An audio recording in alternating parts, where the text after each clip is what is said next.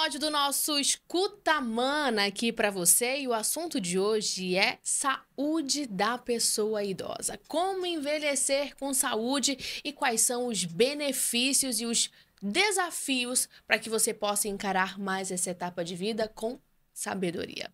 A nossa entrevistada de hoje é a Gracilene Celestino. Ela é gerente administrativa da Fundação Dr. Thomas. Gracilene, seja muito bem-vinda ao nosso podcast. Tudo certo? Obrigada, tudo certo. Que bom. Olha só, as pessoas elas têm encarado o envelhecimento como uma etapa normal de vida? Sim, eu considero que sim. Porque hoje é um tema é, bastante discutido e as pessoas estão sim encarando e sabendo como envelhecer. Exatamente. Quando a gente fala assim sobre envelhecimento, não necessariamente estamos falando de cabelinhos brancos, que eu particularmente tenho vários ah. na cabeça.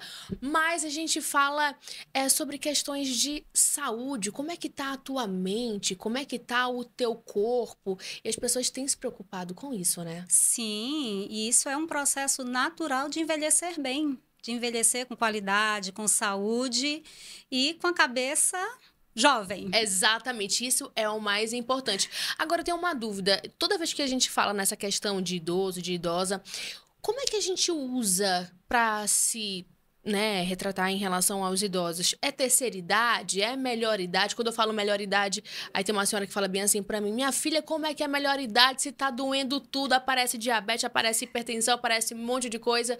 Então, como é que a gente fala? É terceira idade? Melhor idade? Sênior? Como é que é? É, eu acho que o termo mais adequado é a terceira idade ou pessoa idosa. Ah, pessoa Pronto, idosa. porque realmente é melhor idade é um termo que não cabe. Exatamente. É, eu acho que vamos, vamos utilizar a terceira idade, vamos utilizar a pessoa idosa, porque como é um processo natural e todos vamos passar, então não vejo, né? É, porque a pessoa ter vergonha de falar que é uma pessoa idosa. Eu sou uma idosa, eu sou um idoso. Então, é, é o processo natural. Então, vamos de, assumir. Né? A partir de que idade que a gente já considera a pessoa já idosa? Hoje, 60 anos. 60 anos. 60 anos já é considerado uma pessoa idosa. Se bem que as pessoas, tem gente que brinca, né? Fala assim, ah, eu tenho 20 anos, mas eu me considero uma pessoa idosa. É porque às vezes a pessoa já relaciona algo como um cansaço, ou então algo que gosta de ficar resguardado, gosta de dormir cedo, gosta de algumas coisas mais recatadas, mas não necessariamente estamos falando de pessoas da terceira idade assim, porque tem pessoas da terceira idade que são mais vivas do que eu. Exatamente. Não é, é o inverso, né? Tem pessoas que têm 60, 70 anos e se consideram com 30, 40. Isso é muito comum. Exatamente. Vai do processo de envelhecer bem, de como você encara esse processo. E como é que é que a gente envelhece bem? Isso é necessário. Mas como é que é que faz? Olha, hoje a prefeitura ela tem, através da Fundação Dr. Thomas, é, vários programas que facilita esse processo do envelhecimento.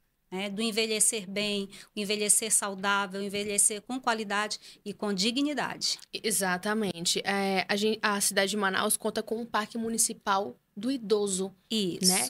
Então conta pra gente como é que é que funciona e, sobretudo, quais são os benefícios desse programa. Bem, eu vou falar um pouquinho sobre a fundação. A Fundação Dr. Thomas, ela hoje, ela é a gestora da política municipal do idoso e como gestora dessa política, ela desenvolve três grandes pro programas, que, é, que são os pilares né, da, do processo da gestão é, política da política municipal do idoso, que é o programa Conviver, que é o Parque Municipal do Idoso, muito conhecido, muito frequentado, e o parque ele é um espaço de convivência. Então, o idoso ele vai, né, de manhã, as atividades começam às 7 da manhã e terminam entre 17 e 17 e 30. Então, o idoso ele vai lá para convivência. Ele tem várias atividades que ele pode fazer ao longo do dia. Então, ele é um processo do envelhecer com qualidade. Lá ele vai fazer hidroginástica, ele vai fazer natação, ele vai fazer caminhada, ele vai fazer teatro, coral. Dança. Dança, tem canto. a dança. exatamente. Temos uns professores maravilhosos de dança. Então, é, é isso, essa é a qualidade, é o envelhecer bem. Você falou numa palavra que parece que assim é música nos meus ouvidos, que é a palavra convivenciar. Isso. Quando a gente fala no Parque Municipal do Idoso, é a questão da convivência, Convivência. a convivência. Então, assim, ah, o Parque do Municipal do Idoso não necessariamente tem ali as pessoas da terceira idade, mas abre a possibilidade de que outras pessoas, jovens da primeira, segunda, terceira idade, enfim, possam conviver com eles, né, fazendo exercício, praticando ali a sua caminhada. Na sua avaliação, hoje as pessoas elas estão sabendo conviver com as pessoas da terceira idade? Sim, dentro dessa, dessa proposta de um centro de convivência, sim. Tá? Então, várias gerações se encontram, porque além dessas atividades, o parque também tem eventos. E esses eventos proporcionam esse encontro de gerações é com a família, é com os vizinhos, são com os amigos. Então, esse, esse grande espaço torna-se essa, esse é um centro mesmo de, de, de socialização, de, de trocas, de experiências, de, de convívio e proporciona isso, né? Dentro das atividades né, que são propostas pela, por toda a equipe. E como é que é que faz para participar, para para é, se beneficiar ali com as atividades? Bem, nós temos algumas regras, né? É, hoje, para você participar das atividades, você tem um processo de matrícula, na qual você leva seus documentos pessoais, você precisa de um atestado do médico para dizer que você tem condições de fazer uma atividade é, física, de leve a moderada, que são as atividades que são adaptadas né, para pessoas idosas. Porque lá nós temos pessoas de 60, 70, 80, 80 e poucos anos. Então, é importante esse cuidado também. Então, você, com essa comprovação, nós temos um sistema né, é informatizado, na qual a, a pessoa faz a sua inscrição e depois apresenta todos esses documentos no setor de admissão, que é o setor de matrícula lá do parque, que é feito no próprio Parque Municipal do Idoso. E é importante ressaltar que as atividades propostas no parque são todas acompanhadas por um profissional, né? Sim, nós temos toda uma equipe de educadores físicos, nós temos psicólogos, nós temos assistentes sociais, nós temos educadores. Então, é toda uma equipe pronta e preparada para receber esse idoso e trabalhar as diversas atividades. Sabe o que eu acho muito legal? Agora há pouco você falou na questão dos eventos, né? Que Sim. tem no Parque Municipal do Idoso. Nossa, eu acho sensacional. Tem um carne idoso, né? Carne idoso. Nós temos o, a nossa festa junina também, que é muito tradicional. Que nós temos, assim, dentro do, do de, todos os meses nós temos eventos né, festivos. Então, nós temos as serestas. Sim. É, que são feitas, na, são realizadas sexta-feira. Então, ah. às vezes, a equipe faz, assim, umas, umas atividades, umas serestas, assim, temáticas. Ó, Halloween, uhum. Dia das Mães. Então, tem toda uma programação. E eles é, participam disso a caráter. Sim, é, é verdade. É, anos 60. É, e eles vão todos organizadinhos. Muito. Eu acho o um máximo. Isso. Toda vez quando eu vou fazer um trabalho lá, né, pela prefeitura, eu fico olhando, eu fico pensando assim, poxa vida, o que, que se passa, será, assim, na cabeça deles, né? Poxa vida, eles são tão felizes, eles são eh, eh, cheios de energia. Aí tem o, o, o, o, o senhor, né? Ele tá com a sua senhora ali sentados na mesa, e ele faz carinho nelas, e... um segurando um na mão do outro. Eu fico encantada, eu fico assim, só. Aquela dança coladinha, bem gostosa. Né? É. nós temos o, a trilha sonora toda voltada para eles. E assim, além tem o bolero, mas eles gostam também de outros gêneros musicais. Então é adaptado para qualquer gênero musical, eles aceitam. Forrozinho, e, eles oh, estão dançando, muito. né? Forró, é o bolero. Então é a, a música pop. Então eles estão realmente ali para isso, para divertir e para ter esse resgate. E né? eles sabem aproveitar tudo, porque Muito. quando tem alguma coisa lá, um evento, vocês pensam que eles ficam sentados, dias na cadeira, eles levantam. Claro que tem um momento ali, né, que alguns já estão cansados, eles deitam, sentam um pouquinho, mas depois levantam, eles participam, eles são extremamente ativos. E é muito legal todo esse trabalho da, da equipe da Fundação Dr. Isso. Thomas que vocês realizam com eles. Exatamente, né? Sempre é, sabendo que nós estamos trabalhando a convivência, esse espaço de convivência. E além né, de todos esses, da, dos eventos, além da, de todas as atividades que são realizadas, há uma preocupação também com a qualidade de vida desse, de como envelhecer bem. Então, tem as atividades físicas, né? Como eu falei, tem a hidroginástica.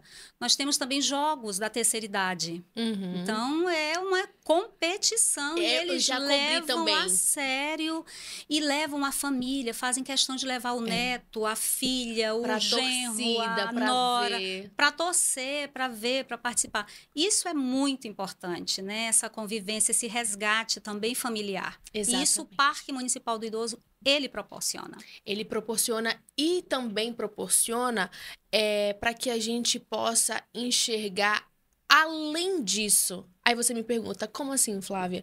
É porque quando a gente vê uma pessoa da terceira idade, a gente está vendo ali uma pessoa ativa, uma pessoa participativa, mas por trás tem uma história, pode ser que sofrida ou não, tem uma história que pode ser de superação ou não, mas tem uma história, né? Que por Sim. trás ali daquele sorriso, daquela dança, pode haver uma situação que é importante que as pessoas possam respeitar. Né? Então, ali, as pessoas que hoje da terceira idade estão ali no Parque Municipal do Idoso também têm uma história para se contar. E hoje as portas estão abertas para as pessoas que queiram ali entregar de repente uma doação ou então queira conversar. Como é que é que funciona? O, o parque, né, como nós já falamos, por ele ser esse espaço de convivência, ele sim tem temos histórias, né? Cada idoso tem sua história, tem a, a sua história de vida. Então, é, por ser esse espaço de convivência, é, a instituição, a fundação, ela sim recebe doações, ela recebe ajuda, mas hoje nós somos é, todo o nosso orçamento ele vem da prefeitura ou de doações, né?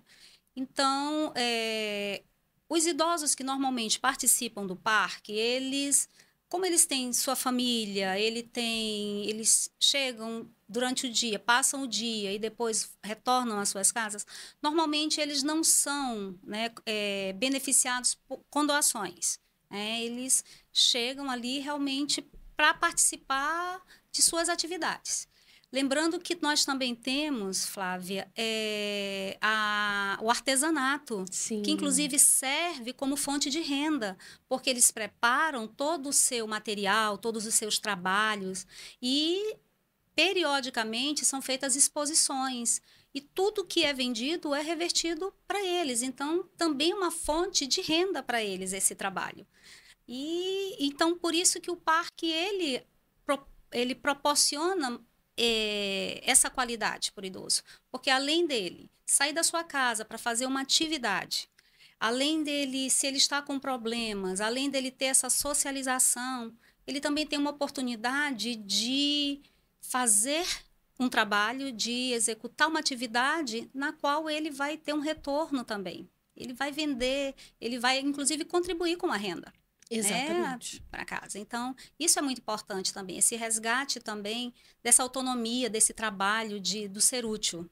Agora, é, tem pessoas que falam bem assim: ah, o Parque Municipal do Idoso é asilo. Essa palavra, ela já não é usada mais, né, Gracilene? Não. É, como eu falei, o- a fundação ela desenvolve três programas. O Parque Municipal ele é o programa de convivência. Nós temos mais dois programas ainda, que nós temos o programa de atendimento domiciliar, que, são, que é feito através de visitas domiciliares, e nós temos o de longa permanência, que era o que antigamente chamavam de asilo, era o programa asilar. Só que hoje nós não usamos mais essa expressão asilo. Hoje nós substituímos por instituição de longa permanência para idosos.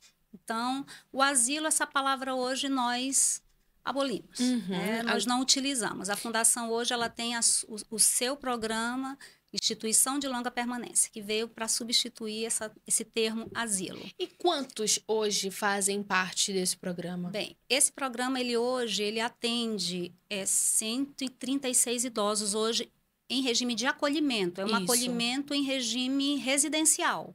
Ele mora na, na instituição. Ele lá são oferecidos é toda todo o apoio, né, para esse idoso refeições, atendimento médico, atendimento social, psicológico, apoio integral a todas as suas necessidades diárias. Então esse idoso ele mora na fundação. Por isso que a gente fala que é em regime residencial. E lá, dependendo do grau, né, dependendo da do estado que esse idoso chega, ele a gente denomina ele por grau de dependência. Ele pode ter ser um idoso independente, que aí ele é direcionados para quartos, né?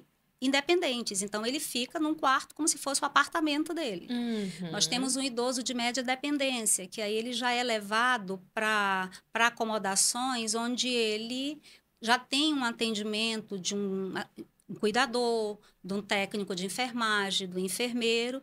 E nós temos aqueles idosos que a gente chama de alta dependência. Normalmente são acamados, né, que têm a sua condição diária é, na maioria do dia acamado. Então, esse idoso ele precisa de um atendimento mais completo, principalmente pela questão saúde. Uhum. Então, é toda uma equipe ali pronta para atender esse idoso. Médicos, inclusive. Então, nós temos uma equipe de nutricionistas, nós temos uma lavanderia industrial, nós temos uma cozinha industrial onde diariamente são produzidas seis refeições, né, para dar é, toda essa assistência a esse idoso institucionalizado. Uhum. E a alimentação é justamente é, é, diferenciada de acordo com a necessidade de cada um deles, né? Sim, nós temos o idoso diabético, então ele tem a, a dieta adequada para o problema né, aquela dieta branda. Nós temos o idoso que é hipertenso. Nós temos idosos que não conseguem mais deglutir. Então, ele é alimentado através de sonda, né? A que a gente chama da nutrição enteral, alimentação enteral. Então, todo esse processo é feito. Ou, quando não é nutrição, nós temos a, o que eles chamam de pastosa. É um trabalho lindo que as meninas da nutrição fazem com um prato, então, bem colorido, para ser bem atrativo, sabe? De, de, do idoso olhar e sentir realmente vontade uhum. de comer. Ah, porque a alimentação, ela também não é só o paladar, Isso. ela também envolve a, a, a questão da visão, Verdade. né? Sim. Se sentir atraído ali pela comida. A gente também, a gente olha assim, nossa, esse prato... Olha, aquela, fugindo um pouco do assunto, né? Mas, por exemplo, bodó. Hum. Quando eu vejo ali um bodó, eu, eu, eu nunca comi, porque para mim ele é feio. Oh, mas se você. Mas dizem que é uma delícia, Sim. né? E eles gostam, viu? Tem é. idosos que se pudesse. Só o bodó. É, é o bodó, é, é o, o pirarucus, ah, peixes é e mas aí, aí, vem a restrição, né? Aí é. vem a nutricionista, que aí ela vai dizer que pode, que não pode, mas sempre é liberado, elas sempre fazem uma exceção até para para dar esse prazer, também. Né? Sim. Tem coisa melhor. Agora, né? só abrindo um parêntese aqui, que a nossa entrevistada, ela, ela, ela destacou uma situação bem legal no nosso cenário, que temos a Fundação Dr. Thomas é. aqui no nosso cenário. Eu, eu, me, eu, acho que eu mexi foi na, na questão do ângulo aqui, mas aqui no nosso cenário a gente também tem a Fundação Dr. É. Thomas bem aqui. Essa é uma idosa institucionalizada. Ah, é? Exato. Quantos anos ela tem? Qual é o nome a dela? Dona Nadir. Olha, Dona Nadir. 76 anos. Olha só. Que tá. linda. Agora, a gente tem aqui a, o programa domiciliar, né? Como é que é que funciona? O programa do, domiciliar é ele é caracterizado por visitas em domicílio. A equipe dá essa assistência ao idoso em casa. Todos os dias, né, a equipe multiprofissional que nós chamamos, fisioterapeutas, enfermeiros, é, nós temos nutricionistas, nós temos também a psicóloga, assistente social, então eles saem, né, até a casa do idoso para fazer esse atendimento. Porque para a fundação, o último estágio seria a institucionalização. Porque o idoso ele quer estar em casa, ele quer estar com a sua família. Então, institucionalizar é para aquele idoso que está em vulnerabilidade social, é aquele idoso que não tem onde morar, é aquele idoso que, por algum motivo, é, que normalmente, infelizmente, são os maus tratos que hoje Sim. né, são, é, é, é tão trabalhado isso junto com a delegacia do idoso, são os maus tratos. Então, por algum motivo, ele precisa sair da sua casa, precisa ser acolhido na fundação por algum por problemas maus tratos. Então, esse seria o último estágio para a instituição. Então, a instituição ela quer ver o idoso no centro de convivência, que é o parque municipal. Ela quer ver o idoso, ela quer assistir o idoso em casa. Por quê? Lá ela leva também é, alternativas de como cuidar desse idoso de forma saudável. Então, eles vão dar orientações, é, vão também fa fazem fisioterapias em casa para esse idoso. Então, ele ajuda a família, ele é, reforça na família a importância do cuidar do idoso, de ter o seu idoso em casa. Uhum. Então, esse é o programa, esse é um programa que diariamente a equipe sai em rotas, né? Então elas atendem diversas demandas, como também denúncias de maus tratos. Então elas também fazem essa verificação das denúncias de maus tratos, é né? Para averiguar também. Sim, nós fazemos. Inclusive nós temos, né, o Disque Idoso, que é 165, que ele funciona através e também por WhatsApp, telefone WhatsApp, onde nós recebemos, a equipe recebe denúncias de maus tratos e vai fazer essa apuração. Então, nós temos toda uma rede, toda uma equipe preparada para fazer essa, essa averiguação. E depois desse processo de apuração, no caso de, de maus tratos a idosos? É, aí, se for realmente constatado esse maus tratos, então a equipe aciona a rede de atendimento à pessoa idosa né, do município, pode ser a defensoria, pode ser o Ministério Público, a delegacia do idoso, e vai, e vai ser feito toda uma apuração, todo um procedimento.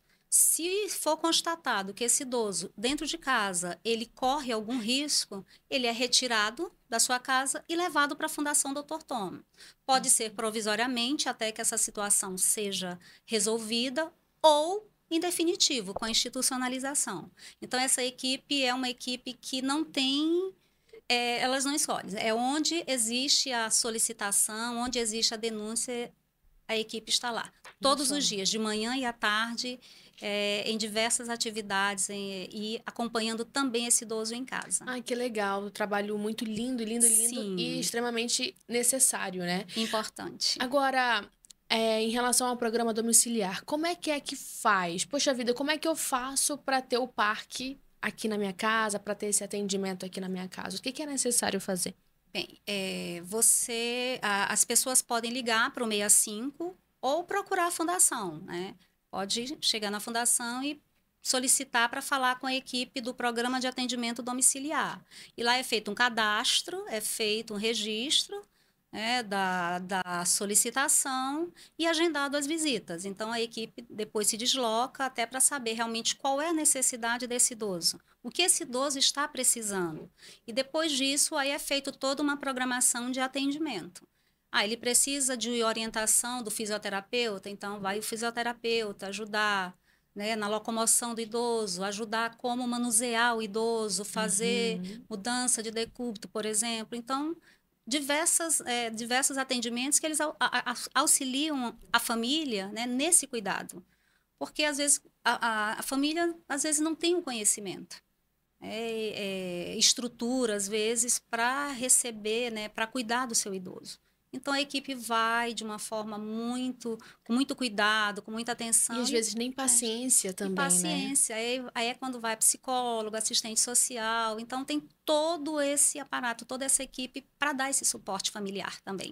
E é claro que a família é extremamente importante. Agora há pouco a senhora falou sobre o programa de longa permanência, né? Mas é que eles querem ficar perto da família, né? Sim. E isso faz muita diferença Sim. em relação a como é que eles estão lidando com esse processo de saúde deles, né? Se estão mais debilitados, enfim, estão em vulnerabilidade ou não. Agora, dentre tantos trabalhos legais também do parque, a gente tem o projeto Viver Bem na Terceira Idade. Né? E como é que é que funciona esse programa, esse projeto? Bem, esse projeto ele é um, é um pouco a descentralização do Parque Municipal do Idoso. Porque ele, ele vai nos bairros. Ele atende todos, é, procuramos atender todas as áreas de Manaus através dos grupos de idosos. Hoje nós temos cerca de 200 grupos de idosos espalhados em toda a cidade de Manaus. Então, eles, eles se reúnem em associações, eles se reúnem em pátios de igreja, em escolas, em unidades de saúde. Então, eles se organizam né, uhum. em grupos. E esse projeto ele vai justamente onde tem é, esses espaços. Ele vai levar essas atividades que são realizadas no Parque do Idoso. Ah, e, e o melhor, dentro da sua comunidade. Ele não precisa deslocar da comunidade dele. Ele pode fazer ali próximo da sua casa. Se o idoso não pode ir até o Parque Municipal do Idoso, o parque vai. Através do projeto Viver Bem na Terceira Idade. Então lá ele vai fazer atividades também e que são feitas no parque. Ele tem atividade física, ele tem atividade de recreação, datas comemorativas, passeios também. Ah, sim. Ano passado nós o projeto ele proporcionou assim momentos maravilhosos.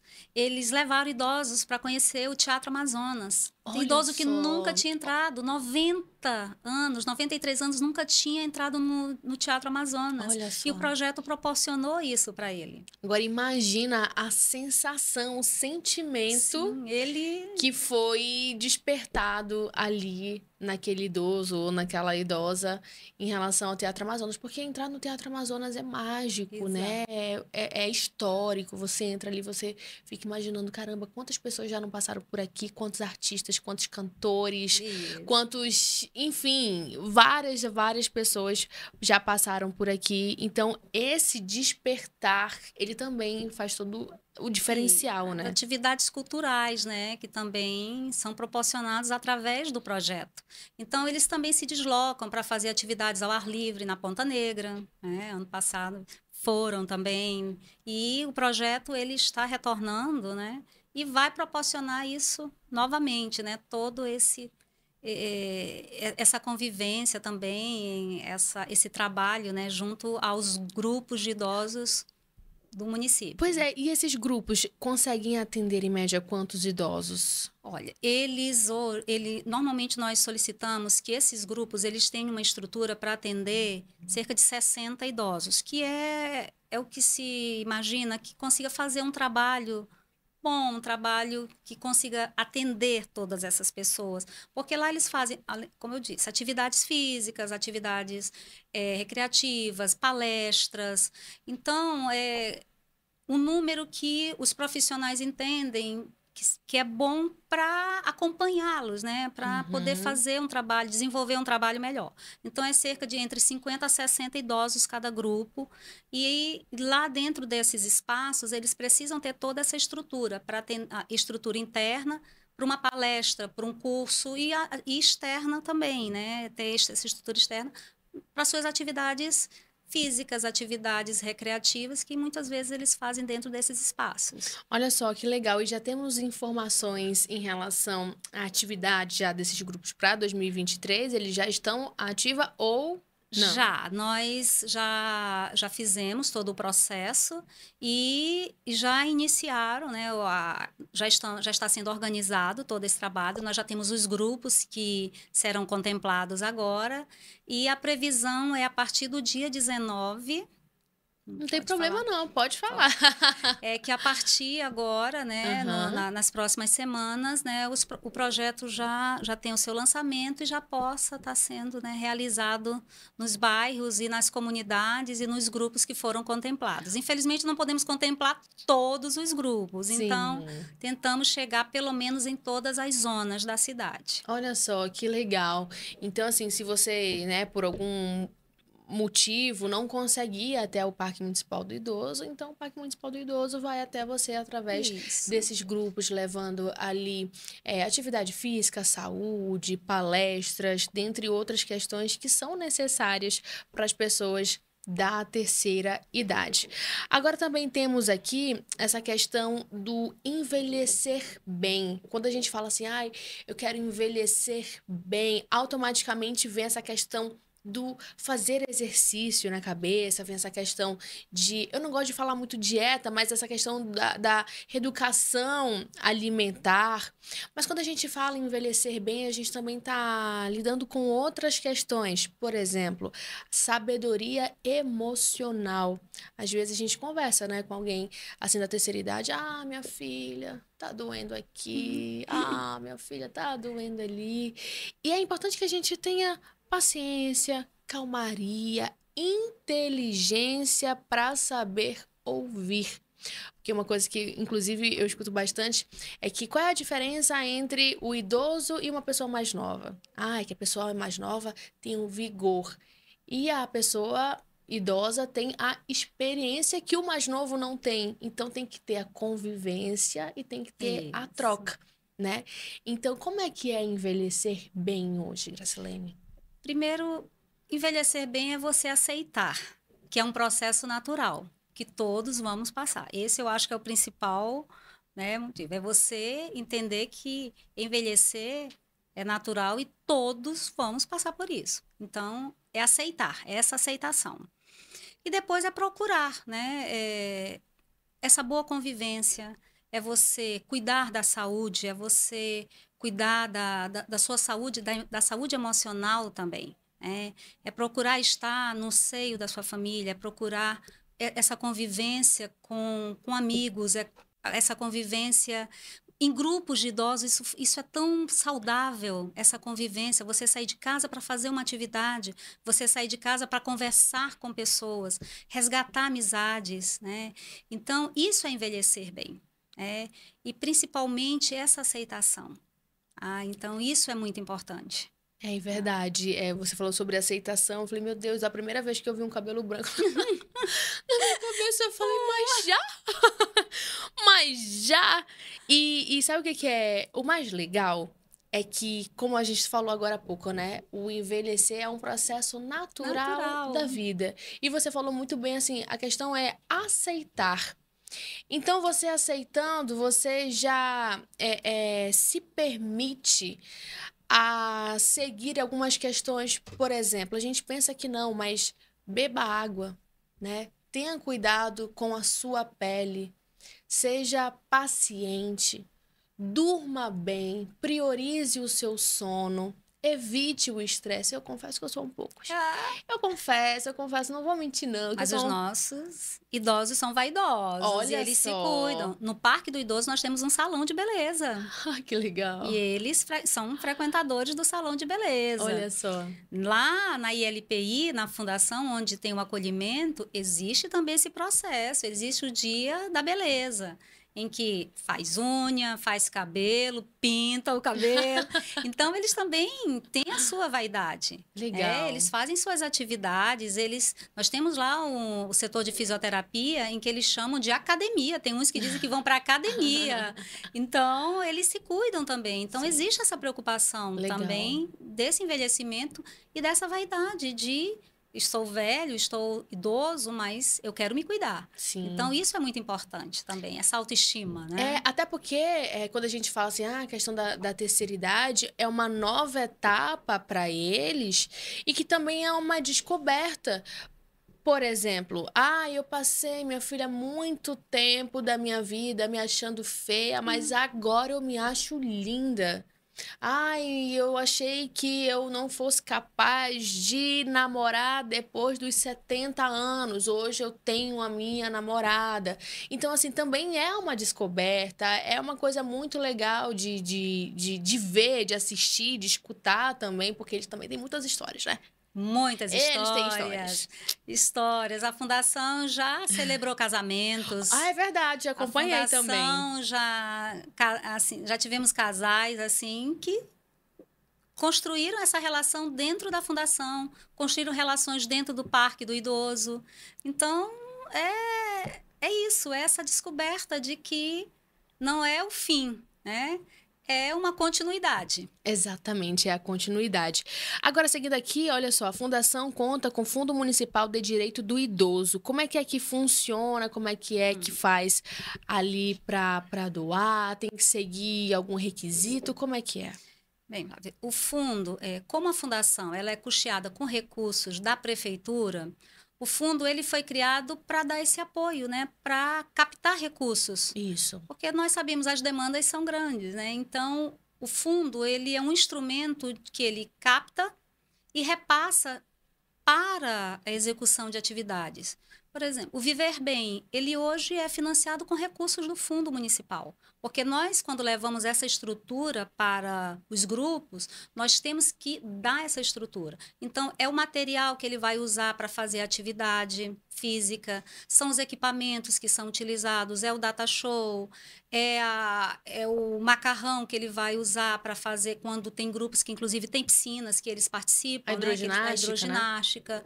Então, é o equipamento para fazer a atividade física, para fazer as atividades de recreação, de desenhos. Então, tem vários materiais que são necessários, né? Oferecer a esses grupos, então precisa de recursos. Então o fundo ele veio para isso. Ele foi criado, né, em 2010 com esse objetivo de captar recursos. Por quê? Por quê? Porque o diferencial do fundo é que as pessoas doam e podem deduzir do imposto de renda. Então, uhum. é esse o atrativo para a doação ao fundo. Tem essa contrapartida, né? Contrapartida. Né? Eu, ao uhum. invés de pagar o imposto de renda, eu vou doar parte do valor que eu tenho né, a pagar, eu vou doar ao Fundo Municipal do Idoso. Olha e só. através dessa doação eu vou ajudar a financiar projetos voltados para a população idosa da minha cidade. Olha só, ah, é um então, trabalho lindo também. É isso. E você pode doar ao longo do ano. Você pode fazer isso durante o ano. Ah, hoje eu tenho um recurso, é, vou faço a doação. Posso, estou fechando minha declaração do imposto de renda. Opa, posso doar também. Então, você tem várias oportunidades, vários momentos, né, ao longo do ano, ao longo de todo esse período que você pode fazer nessa contribuição. Por isso que o Escuta Mana tem essa oh. finalidade para que Pronto. a informação chegue de uma maneira diferente para você, porque talvez as pessoas assim, ah, eu quero dar mais, como é que eu faço para fazer parte também dessa equipe de uma maneira indireta? Ou direta, enfim. Mas você também contribui. Então, Escuta Mana, ela tem justamente essa finalidade de levar essa informação até você. Poxa vida, eu não sabia que eu, né, de uma certa forma, posso ali contribuir com uh, o Parque Municipal do Idoso, justamente dando essa contrapartida, né, em relação ao imposto de renda. Muito legal. Sim, então a sua a contribuição ao fundo ele vai ajudar, ele vai ajudar o Parque Municipal do Idoso, ele vai ajudar lá no, no acolhimento, na instituição de longa permanência, ele vai ajudar o PAD a ir fazer suas visitas e vai ajudar o Viver Bem como outros projetos voltados né, para a população idosa. Importante lembrar que não é só para o idoso que está na fundação, que é assistido é, pelos programas da Fundação Dr. Thomas, é de todo o município. É aquele idoso que está lá no grupo, lá no Santa Itelvina, é o idoso que está lá na, no Educandos, é o idoso que está na Cachoeirinha, é o idoso que está em Aparecida, é o idoso que está em todas as zonas que são contempladas. Então, todas essas contribuições, elas ajudam nesses projetos. E eu acho muito legal eles já imaginando eu aqui, né? Eles organizando já a mochilinha, ah, eu vou para minha zumba, ah, eu vou para minha hidroginástica, coloca a roupa de ir, que agora todo mundo fala isso, né? Coloca a roupa de ir e já foi, já, já foi, foi. praticar seu exercício. E quando volta para casa, já tem ali também uma instrução de qual alimento deve comer, de como deve proceder. Isso é muito legal, inclusive essa é uma excelente oportunidade oportunidade para que a gente possa parabenizar todo esse trabalho multidisciplinar da equipe da Fundação Dr. Thomas, porque a gente não fala necessariamente ali, por exemplo, do, do educador físico, da fisioterapeuta, mas a gente também fala dos cuidadores, né, de idosos, das pessoas que limpam, das pessoas que estão na manutenção, das pessoas que estão ali na administração, das pessoas que estão pensando em projetos, das pessoas que estão executando os projetos. Então, assim, é algo muito muito grandioso, é algo muito legal de se ouvir, de se entender, de saber como é que é que funciona tudo, porque é o desenvolvimento de Manaus e os idosos também fazem parte disso tudo, dessa estatística. Então, aqui um abraço fraterno a todos vocês, a, a família da Fundação Dr. Thomas, dizer que é um trabalho muito, muito, muito legal mesmo e que a gente vai. É, pulverizar, vamos colocar assim, todas essas atividades de vocês nas redes sociais, no YouTube, no Spotify, até porque o Escuta Mana está to em todas essas plataformas justamente para que você saiba como é que é que funciona tudo isso. E o idoso é vida, e o idoso é energia, é experiência, é história. Eu me amarro sentar do lado de alguém assim e, e ouvir as histórias de fato que eles têm para contar. Então, fica o convite para você ir na fundação e você vai e ouvir muitas histórias que eu acho que você vai poder também colaborar com essas histórias aqui no seu Ai, adoro. no escuta, mano. Pode ter certeza. ah, que legal, vai ser um prazer muito grande. Qual vai ser o próximo evento de lá de vocês? O próximo evento é o Dia das Mães. Ah, o Dia vai, das Mães. É, vamos ter uma, vai ter a festa no Parque do Idoso, vai ter o evento no parque e também nós vamos festejar também na ILPI. Ah, Olha então só. é feito.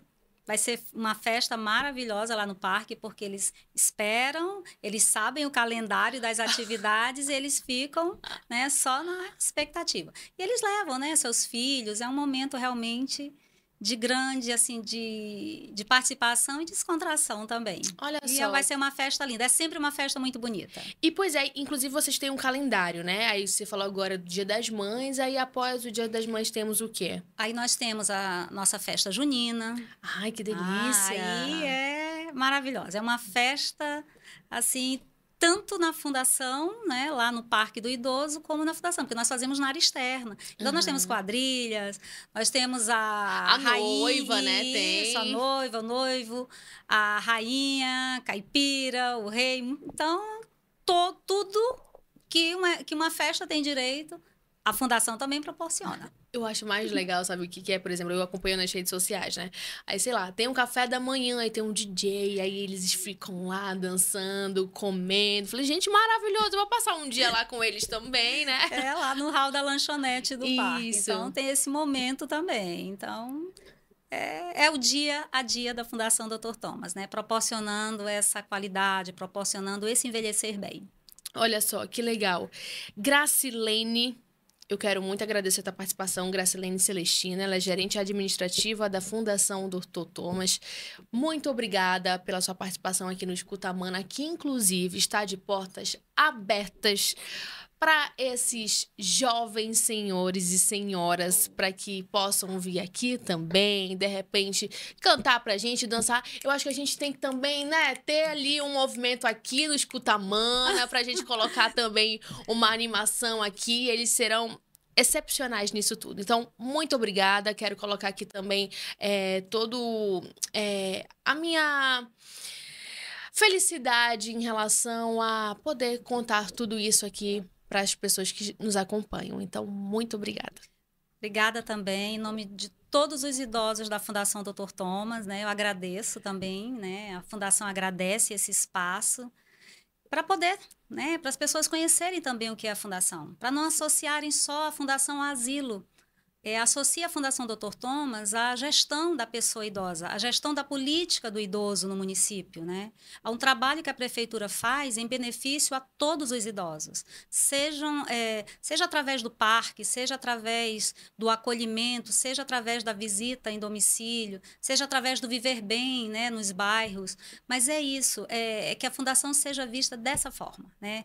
Em oferecer, em proporcionar esse envelhecer com qualidade, esse envelhecer bem. Ah, e é isso que nós fazemos. Nós acolhemos e transformamos essas pessoas, né? A vida dessas pessoas. E é isso que nós queremos. Exatamente, vocês transformam. Com Transformam. certeza. Isso é muito legal. Então, parabéns e mais uma vez, muito obrigada. Obrigada. Gente, então esse foi o nosso episódio de hoje. Gostou? Eu achei sensacional. Inclusive, eu aprendi que a gente não se usa mais asilo, não. Asilo, epa, não, agora. É, agora eu já esqueci. agora é o programa de Instituição de Instituição longa permanência. permanência. Pronto, viu? Escuta, Mona também é cultura. Beijo grande e até o próximo episódio. Tchau, tchau.